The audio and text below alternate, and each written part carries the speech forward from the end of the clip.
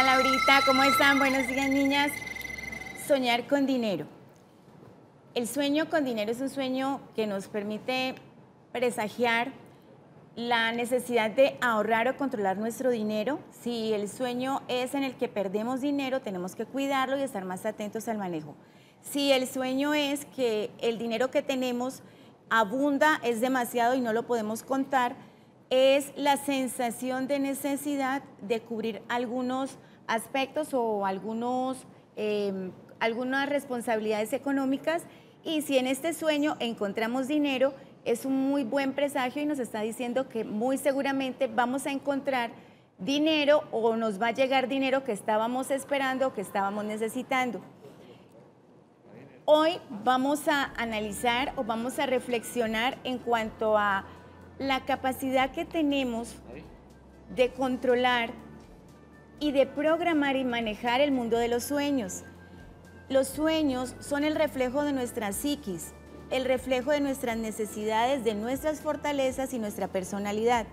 Si aprendemos a conocer el sueño, si aprendemos a conocer cómo estamos soñando, porque es de una forma única, a pesar de que los sueños se repiten en muchas personas, podremos empezar a entender varias cosas de las que van a suceder más adelante y sacarle provecho, porque todo lo que tenemos es para aumentar, para mejorar y para que tengamos como una facilitación en la forma como vamos a desarrollar el futuro o lo que viene más adelante. Me he encontrado con varias personas, eh, me preguntan en diferentes partes, eh, pues afuera, sobre significados de los sueños, sueñan sobre esto. De tantas personas, mm, pues escogí cuatro personas que me hicieron unas preguntas muy interesantes. Eh, Luis, Luisa Juliana García, Carlos Julio Celis, Rosa María Ortiz y Claudia Estela Muñoz. Ellos me preguntaban, ¿por qué hay personas que sueñan mucho y otras no? Todos soñamos, lo que pasa es que todos no recordamos los sueños. Hay muchas personas que tienen la capacidad cuando se despiertan de recordar todos los sueños. Unos los enlazan, otros sienten como que son trozos de sueños porque eh, nuestro cerebro vuelve y recupera una condición de onda y vuelve y se sumerge en el mundo de los sueños. Es como decir, viene y hace vigilia que todo esté bien físicamente y vuelve y se sumerge en el sueño. Entonces eso permite que tengamos en la fase REM varios tipos de sueños. Otra pregunta es por qué hay bebés que se despiertan a medianoche o niños que lloran constantemente como si los espantaran. Los niños tienen una capacidad. Ustedes se han dado cuenta que a veces se ríen mirando el cielo, mirando el techo, mirando los rincones. Ellos tienen una percepción extrasensorial muy grande que después con el crecimiento se va disminuyendo. En el sueño, ellos tienen más capacidad de adentrarse en el mundo de los sueños y por esto de sentir en su cuerpo físico las condiciones del sueño. Pueden sentir miedo, pueden sentir que se cayeron, lo mismo que sentimos los adultos. Y generalmente los sueños más densos o más difíciles se dan en la hora de las 12 a las 3 de la mañana, porque la frecuencia de vibración baja, entonces nuestra onda cerebral lo recibe, lo siente y si tenemos eh, mucha sensibilidad sensorial, hay personas que caen en las pesadillas, hay personas que se despiertan y se sienten extrañas y hay personas que ya a esa hora se les interrumpe el sueño y no pueden continuar durmiendo hasta pasadas las 3 de la mañana, más o menos a la hora de las 4. Entonces, ¿qué debemos hacer cuando los niños se despiertan con frecuencia a esta hora? Generalmente vamos a buscar dos imancitos, unos imanes, y vamos a colocar a cada cabecera de la cama del niño imanes. Los imanes van a permitir que los niños puedan tener eh, más tranquilidad en cuanto a sus ondas cerebrales y puedan concentrarse en sueños más lúcidos y placenteros y menos sueños disruptivos o en los que ellos sienten que están siendo afectados, porque ellos lloran o se asustan cuando sienten que algo puede estar sucediendo. Bueno, y otro sueño, eh, porque hay personas que cuando sueñan sienten o generan sensación de cansancio físico. Bueno, hay personas que no solamente durante el sueño se relajan, sino que ellas se activan en la parte física y empiezan a tener palpitaciones, sudoración, tensión vascular, eh, a veces les dan calambres, ¿por qué? Porque están tan adentrados en la parte eh, de sus sueños que llegan a sentir físicamente la condición que les está generando el sueño. Por eso en la mañana se levantan cansados, agobiados y si los sueños fueron bastante eh, complicados en cuanto a acciones y momentos que tuvieron que vivir, entonces van a tener un agotamiento físico. Muchas personas cuando tienen sueños con las parejas, con los hijos, van a sentir que en la mañana se sienten nostálgicos, tristes o deprimidos si estos sueños fueron, fueron negativos o fueron frustrantes o son sueños en los que nos afectaron emocionalmente. Hay algo muy importante y es que cuando tenemos sueños en los que de pronto nuestra pareja nos es infiel, en la que nosotros eh, tuvimos una discusión con un familiar, es importante no dejarnos coaccionar por el sueño y entonces a la mañana siguiente afectarnos eh, emocionalmente y socialmente con esta persona para que nosotros eh, tengamos una mala relación en la mañana siguiente por el sueño. Entonces, estas son las reflexiones, estas son eh, como los componentes que nosotros estamos manejando en cuanto a la parte psíquica. Varias personas me preguntaban si es un don o todo el mundo tiene la capacidad. Todo el mundo tiene la capacidad, solo que es igual que otras técnicas. Tenemos todos los días que escribir los sueños, tenemos que repasar y mirar cuando soñamos, qué sentimos y poco a poco vamos a sentir que algo empieza a aparecer, a agudizarse y empezamos nosotros a sentir que como que nuestra psiquis nos habla del sueño y ya sabemos el significado. Tenemos un mensajito, buenos días. Ah, es un mensajito. Es un mensajito. Buenos días, Heidi. ¿Qué significa soñar con los hermanos y recibiendo regalos? Gracias. Soñar con los hermanos es un vínculo fraternal, es un vínculo eh, de raíces espirituales y biológicas, es lo que nos hace ser eh, equilibrados o que nos hace sentir fortalecidos porque es el núcleo, es nuestro núcleo. Los padres significan amparo, los hermanos equilibrio o armonía. Cuando tú sueñas que tus hermanos reciben regalos, es importante saber qué tipo de regalo y el color del regalo. Si tú soñaste con colores dorados, son dones espirituales o respuestas a oraciones y a necesidades que están, que están teniendo alguno de ellos y pues ya van a salir favorables de esa condición. Si, si son colores, si los regalitos que están recibiendo son de diferentes colores, son oportunidades, buenas noticias y cambios muy favorables. Tal vez tuviste alguna dificultad con alguno de tus hermanos y vas a limar asperezas y vas a mejorar la relación con ellos. Otro mensajito. Buenas, quiero saber si mi signo, saber de mi signo cáncer. Eh, pues quieres saber de tu signo cáncer, pero pues realmente eh, eso es astrología y cada persona es única e irrepetible, aunque existe una ciencia que estudia los signos y el zodiaco, eh, realmente es, es muy plural y nosotros estamos trabajando de forma singular con cada uno. Entonces, eh, pues es difícil, no te podría explicar, más bien tendría que, tendríamos que conocerte para ver cómo eres.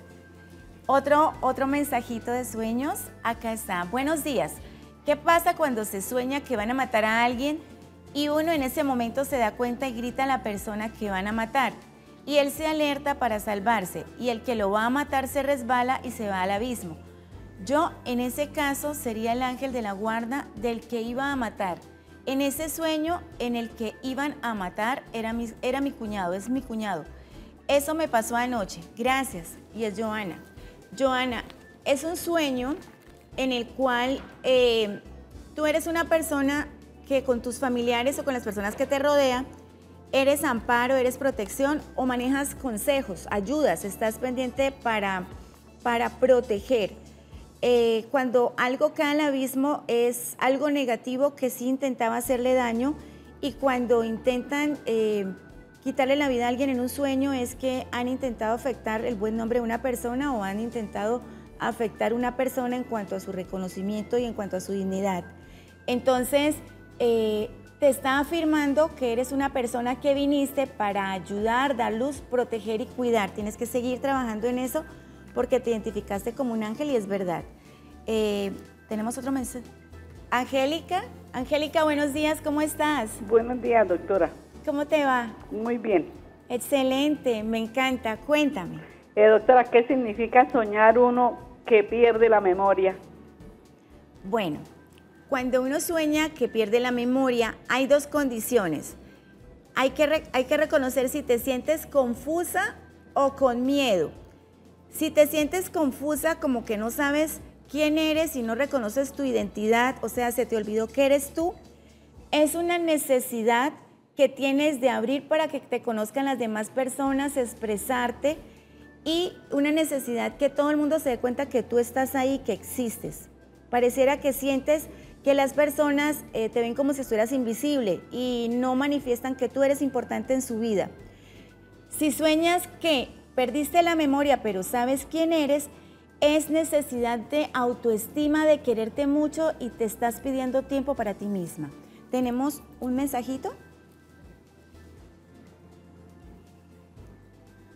¿Qué significa soñar con garrapatas? A veces pensamos que los sueños con parásitos o con animales son negativos, con ciertos animales. Eh, las garrapatas eh, nos están significando algo que se prende a nosotros, que se pega, eh, algo que nos genera incomodidad, escosor, em, nos saca de la zona de confort, pero también significa abundancia, cantidad. Es decir, si tú sales de la zona de confort en la que estás, si tú te atreves a hacer cosas que pronto tienes ahí en proyecto o si empiezas a generar una nueva estrategia para algo que está sucediendo en lo cual no estás teniendo resultados, vas a pasar de pronto algo de dificultad porque vas a tener que esforzarte y sacrificarte, pero hay muy buenos resultados. O sea, vas a recoger bastante bendición, bastante éxito, crecimiento de algún proyecto, de algo que tienes pendiente, pero tienes que empezar a moverte, a tener acción, a generar un cambio para que puedas recibir esa, esa, esa condición. Siempre es de, de prosperidad, de ganancia, de éxito, pero detrás de una acción o de, de, algo de un plan que vas a poner que debe ser bastante disciplinado. Eh, nosotros, perdón, nosotros siempre tenemos la necesidad de interactuar con nuestra psiquis, así que no la vuelvan invisible, no la callen. Entre más callamos nuestra psiquis, menos mensajes vamos a recibir y menos interacción con nuestro interior. ¿Tenemos otro mensaje? Buenos días. Cuando uno tiene un sueño eh, peleando con alguien maligno, pero uno invoca la sangre de Cristo y gana la lucha, ¿qué significa? Todos hemos tenido guerra espiritual durante los sueños, porque los sueños es una conexión con otros planos que aún desconocemos, en el cual nosotros es nuestra esencia la que sale o la que se asoma a ese mundo. No estoy diciendo que abandonemos el cuerpo, estoy diciendo que en ese momento nuestra conciencia está en contacto con cosas que desconocemos. Existen personas que tienen sueños en los que se enfrentan a seres o a condiciones que saben que son negativas. Cuando nosotros recordamos oraciones, en especial cuando llamamos a Cristo, es porque somos seres de mucha fe, de mucha espiritualidad y de una conexión muy grande con Cristo. Y obviamente, si ganamos nos está reforzando cuando estamos con Cristo, nadie puede contra nosotros, ni siquiera en los sueños, y pues estando con Él todo es posible. Entonces, en el día recuerda que así como eres victoriosa en la noche en los sueños, en las pequeñas cosas, ya que no son tan grandes, en, este, en esta tierra donde, donde estamos despiertos, aún más puedes ser victoriosa con Él. Si tienes proyectos y cosas pendientes, a meter la misma fe y la misma pasión porque vas a, a sacar grandes bendiciones. ¿Mensajito? Buenos días. ¿Qué significa soñarse con muchísimo desorden en la casa? La casa siempre va a representar nosotros. La casa somos nosotros. Si ustedes ven una casa grande, pequeña, vieja, esa es la representación de nuestro interior.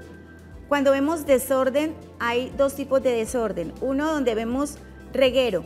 Muchas cosas, eh, está limpia, pero las cosas están tiradas. Entonces es organizar el tiempo, estamos perdiendo mucho tiempo, estamos eh, encontrando excusas y estamos em, dando vueltas, dando vueltas, por eso de pronto nos coge el tarde, nunca llegamos a tiempo, siempre hay excusas, tenemos conflictos. Y cuando la casa está desordenada porque está sucia, es que tenemos en nuestro interior mucha información negativa de otras personas que nos ha generado anclas, que nos ha generado condición de preocupación, eh, nos ha bloqueado y nos ha generado inseguridad en nuestra autoestima. Tenemos otro mensajito.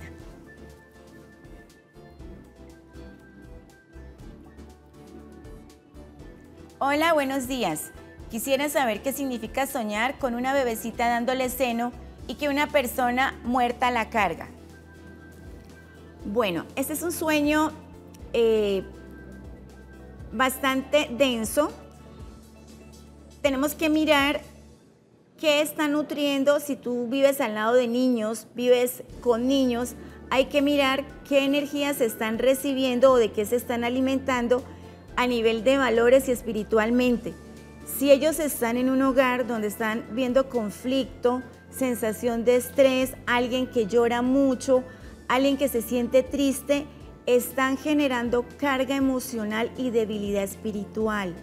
Entonces, la representación del seno es la nutrición, es de lo que nos estamos alimentando. Y cuando la persona eh, no está en buenas condiciones, quien le está dando alimentación a ese bebé nos está hablando que están deteriorando o están afectando la parte interna de ese ser. Tenemos otro mensaje.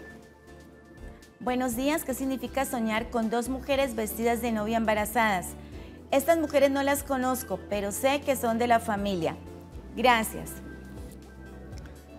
Generalmente, eh, todos los sueños en los que vemos mujeres embarazadas significan cambios de vida, cambios de vida, cambios de condición de pareja o de condición emocional o dualidad, que estamos inseguros o tenemos un conflicto emocional de pareja en nuestro interior.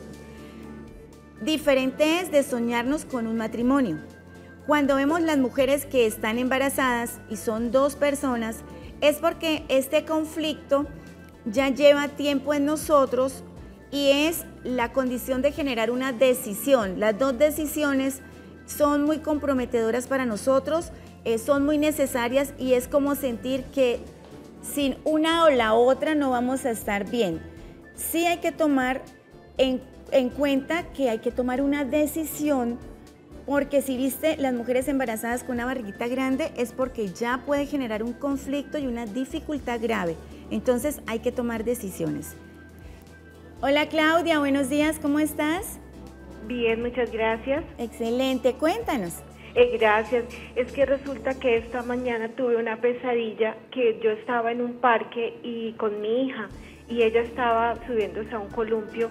Había un muchacho, mm, pues estaba con la cara así como, como raspado y todo y de un momento a otro fui a buscarla y la niña se me había perdido. Entonces la pesadilla fue que me fui a buscarla, no la encontraba y, no sé qué querrá decir ese sueño. Yo quisiera que ustedes me colaboraran con él. Bueno, Claudia, generalmente los sueños en los que nosotros sentimos que nuestros hijos se pierden y vemos personas eh, en ese sueño que pueden ser elementos que pueden hacerle daño a nuestros hijos, como es un columpio, porque es levantar los pies del piso, o sea, hacer elevación y perder como la estabilidad de ellos, o personas que pueden generar, que les pueden hacer daño, es la necesidad de sentirnos confiados, soltar un poquito la sobreprotección que tenemos con ellos y empezar a visualizarlos con más seguridad y menos vulnerabilidad. Seguramente está sobreprotegiendo la niña y ella por fuera o si está eh, en algún momento con otra persona, eh, puede sentir vulnerabilidad con otras personas. Tenemos un mensaje. Quiero saber qué significa soñar con una persona que ya falleció, pero nunca conocí, contándole, cantándole el feliz cumpleaños al lado de toda su familia. Bueno, primero tenemos que mirar por qué tenemos la sensación de que ya falleció. Si, si, sientes que estás soñando con una persona que ya no existe es porque la viste como en una condición transparente, como si fuera un espíritu. Y las otras personas las viste real. Cuando estamos teniendo este tipo de sueños, es que tenemos la necesidad eh, muy dentro de nosotros de reconocerle a las personas las cosas que hacen, de tratar que haya unión en las familias o de ayudar a otras personas que nos rodean para superar conflictos familiares. Pero estás deteriorándote y estás generando una carga emocional innecesaria porque parece que te comprometes mucho con otras personas para solucionar sus vidas. Tienes que tener cuidado. Eh, María, ¿cómo estás? Muy bien, gracias. Excelente. María, cuéntanos. Eh, mira, quisiera hacerte una pregunta. ¿Qué, ¿Qué significa cuando uno sueña que una persona está enamorada de uno y esa persona es más joven que uno? Que le va a llegar colágeno. ¿Qué podemos hacer para tener cuidado? Si eres casada, mucho cuidado. Bueno, cuando uno sueña con una, con una persona joven y esa persona está enamorada de ti, depende cómo manifiesta el sentimiento. Es la necesidad de sentirte joven, amada, valorada y querida. Por eso te digo, va a llegar colágeno. Lo más importante es si esa persona tuvo un contacto físico, te tocó, te dio un beso, te miró, es la necesidad obligada de recuperar tu tiempo, de cuidarte, cuidar tu piel, cuidar tu cuerpo, el cabello, de tener un cambio. Si esta persona solo apareció, la viste y te habló, es porque necesitamos empezar a cambiar nuestra forma de pensar en que ya estamos viejitas, en que ya pasó nuestro tiempo de juventud, que ya no nos debemos arreglar, que ya nadie nos mira, porque nos están diciendo estás joven y sí hay personas que te están mirando. Tenemos otro mensaje. ¿Qué significa soñar con serpientes pequeñas que nos atacan? Yo pienso que la mayoría de personas ya sienten y saben el significado de las serpientes. Son traiciones. Cuando son pequeñas y nos atacan, si te pican y sientes el dolor, es que tienes que tener cuidado con comentarios que te hagan. Comentarios que lleguen a ti o comentarios de otras personas antes de que se genere el conflicto. ¿Por qué? Porque va a haber problemas. Cuando nosotros nos cuidamos y cuando las personas llegan a nosotros, cuando dicen pequeñas es que son varias de diferente tipo, pero poco importantes. Cuando soñamos con una sola que se levanta frente a nosotros, nos intenta o nos amenaza, pero no nos pica, es una persona que pronto tiene más poder que nosotros o va a estar en un cargo superior que el de nosotros. Pero cuando son pequeñas y son, son, las vemos a ras de piso, es que pueden ser familiares que están por debajo, hijos, primos o dependiendo de la edad que tengas, eh, simplemente ten cuidado, no participes de comentarios, no escuches comentarios, como que no existo, en, más o menos ocho días, eh, ausente de todos los comentarios. Eh, buenos días, ¿tenemos llamada? Marta, ¿cómo estás? Bien, gracias, buenos días. Buenos días, muy bien, gracias. ¿Y tú cómo estás? Bien, gracias. Excelente. Cuéntanos, Marta. Eh, yo quisiera saber qué significa cuando uno se sueña con una cantidad de huevos, así con nidos llenos de huevos, recogiendo muchos huevos. Soñas, perdón, repíteme, ¿soñaste con huevos? Sí, señora. O sea, que, me, que veo muchos nidos llenos de huevos. Nidos, nidos llenos de huevos. ¿Y los huevos de qué color? Hay blancos y hay azulitos. ¿Blancos y azules? Sí, señora. Bueno, siempre que veas algo que está en capullo germinando de color azul es San Miguel. San Miguel, eso es conexión de ángeles. El nido representa la creación o la iniciación de algo. Em, vida. Vida es creación, es inicio. Blanco es conexión, o sea, definitivamente estás pidiendo solución a conflictos o a dificultades que estás teniendo y ya están. Y si ves muchos, es mucho que viene, así que súper concentrada, ya empiezas a sentirte bendecida y agradecida porque vienen cosas grandes para ti. Administra con cuidado y sigue confiando solamente en ellos. Conéctate con ellos y cuida todas las bendiciones que te da el cielo. Bueno, y para terminar, cada vez que tengan un sueño, antes de que se levanten y que pongan los pies en el piso, respiren profundo, piensen el sueño y regálense un minuto para escribirlo. Y se van a acordar que poco a poco, en una semana, dos semanas, van a empezar a entender e interpretar sueños de la forma más simple porque todos tenemos la capacidad y eso va a hacer que nuestra vida cambie. Les deseo un fin de semana maravilloso de poder y victoria y solo pensamientos positivos. Gracias.